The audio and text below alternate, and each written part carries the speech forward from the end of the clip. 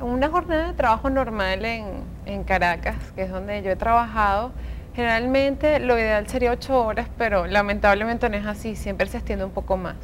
Personalmente creo que eh, preferiría, o desde mi punto de vista, no es tanto las ocho horas, sino que lamentablemente la gente no se concentra a trabajar esas ocho horas.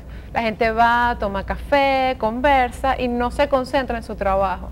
Yo pienso que nosotros podemos optimizar más nuestro tiempo y trabajar ocho horas diarias únicamente. Ahora, desde el punto de vista de entrevistas o appointments, diría que es bueno siempre pedir las citas con dos, tres días antes, no el mismo día. Al menos yo soy una persona muy planificada. Pero si se dan casos de muchas reuniones informales dentro del trabajo y es algo bastante usual.